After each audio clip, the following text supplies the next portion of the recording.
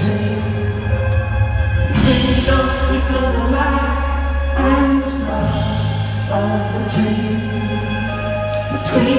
flick of the light and the start of the dream.